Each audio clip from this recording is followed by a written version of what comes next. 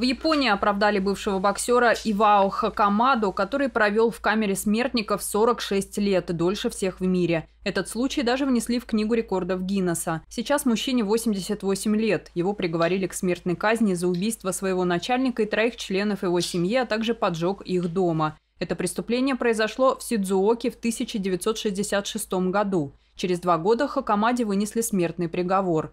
Мужчина изначально отрицал вину, но потом дал признательные показания, по его словам, под пытками. На суде он не признал себя виновным, однако прокуратура выиграла дело. В 80-м году Верховный суд Японии оставил приговор в силе. Потом снова последовали апелляции. Невиновность мужчины отстаивали адвокаты и его старшая сестра. В 2008 году один из трех судей, вынесших приговор Хакамаде, обратился в Верховный суд с ходатайством о пересмотре дела. В 2012-м эксперты сделали более точный анализ ДНК и установили, что кровь на одежде, предположительно принадлежавшей преступнику, не принадлежит принадлежит Хакамаде. В 2014-м суд Сидзуоки отменил приговор и освободил 78-летнего мужчину. Дело отправили на пересмотр. Но через 4 года отменили уже оправдательный приговор. Хакамаде разрешили дожидаться окончательного решения суда на свободе из-за его преклонного возраста и слабого здоровья. Теперь же суд полностью оправдал пожилого японца, признав, что улики против него были сфабрикованы. Обвинения были ложными с самого начала, и неважно, сколько судов прошло.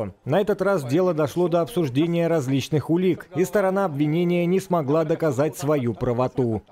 Японская система уголовного правосудия известна своей медленной работой и тем, что неохотно отправляет дела на пересмотр. При этом прокуратура добивается обвинительных приговоров в 99% случаев.